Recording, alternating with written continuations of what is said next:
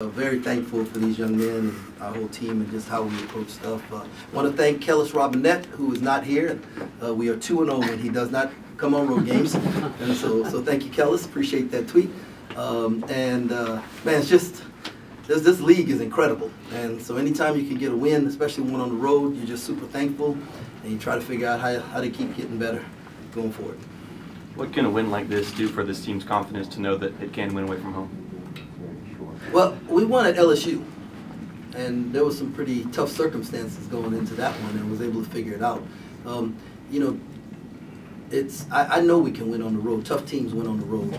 Uh, it's just some nights it doesn't matter, right? Like the other team is just better than you, or you things don't work out. So when you're able to get them to work out, it, it's great, and then we go back to the drawing board. For both players, you guys shot really well as a team, rebounded really well. Was there something you saw in them that, that allowed you to do that, or effort on your part? What was it? Um, you know, we put a big emphasis on it in practice. Uh, you know that we got to rebound, uh, and we got to be a, a good rebounding team. Shooting and offense for you? Um, yeah, first of all, I want to thank God for this opportunity. But uh, like Cam said, uh, we put a lot of emphasis on it in practice and uh, on film. Um, we're able to execute tonight.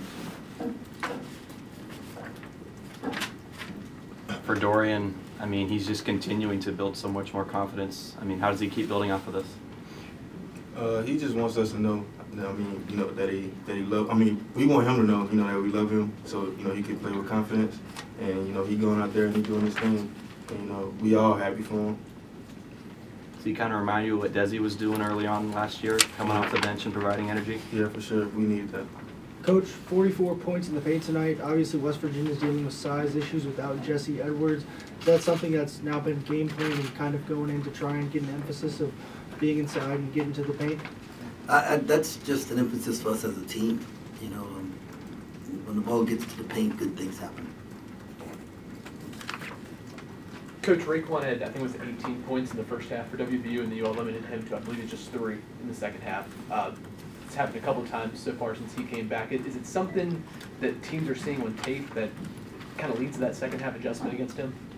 No, I, I think his first half explosion it, it catches you off guard. His athleticism, his quickness, his ability to stop and go straight up in the air.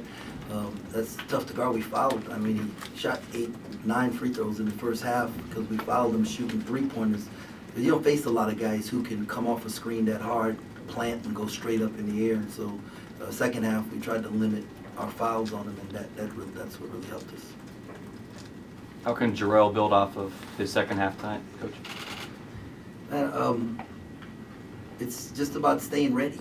You know, staying ready. Will need a breather. Dave got in foul trouble. Uh, Art was in foul trouble. We had to play a few different lineups that we probably hadn't even thought about. And uh, Jar- Jerrell was ready, just very much like Taj was ready the other night.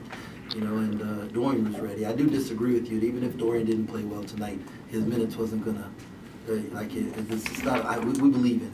We, I believe in all the guys. It's just just only given so many minutes, and it's not based on performances uh, like numbers. It's just what do they provide the team.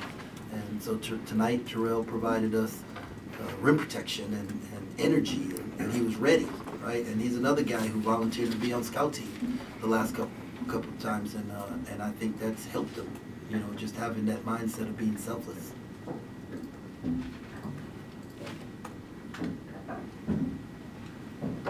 For coach and the players? Okay, thank you, coach. Thanks a lot.